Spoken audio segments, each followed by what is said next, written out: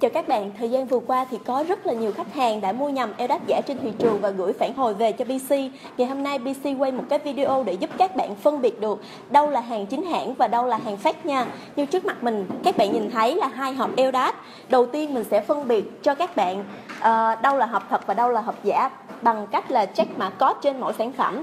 Chúng ta sẽ bóc tem ở phần open và check mã QR bằng các phần mềm như là Zalo hoặc Viber. Mình sẽ ví dụ cho các bạn bằng phần mềm Viber. Các bạn sẽ bấm vào mục thêm và lựa chọn dòng trình quét mã QR. Các bạn sẽ quét sản phẩm như thế này.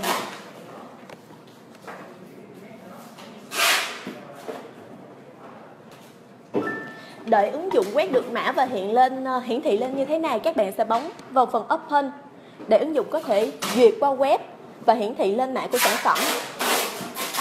Sau khi bước đầu tiên thực hiện xong, mình sẽ phân biệt cặn kẽ hơn bằng cách bóc hai lọ eo đát ra cho các bạn có thể nhìn thấy.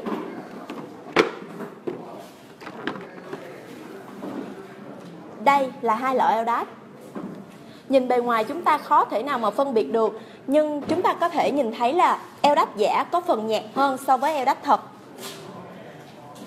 Mình sẽ test ra tay bên đây là một tí eo đắp thật một tí eo đắp giả eo đắp giả chứa tạp chất rất là nhiều, cho nên là nó sẽ trơn trượt ra tay của mình như thế này. Eo đắp thật có chứa serum và chất kết dính, cho nên nó sẽ động lại một chỗ. Và khi mình thoa ra, mình cảm giác được sự thẩm thấu của eo đáp trên làn da của mình. Còn bên đây mình hoàn toàn không cảm nhận được gì cả eo trên thị trường ngày nay eo giả trên thị trường ngày nay có rất là nhiều loại giá khác nhau, khó mà phân biệt được, thậm chí nó còn đắt hơn cả hàng thật. Nếu các bạn muốn mua eo chính hãng, các bạn có thể đến BC với mức giá 1 triệu 500 ngàn đồng.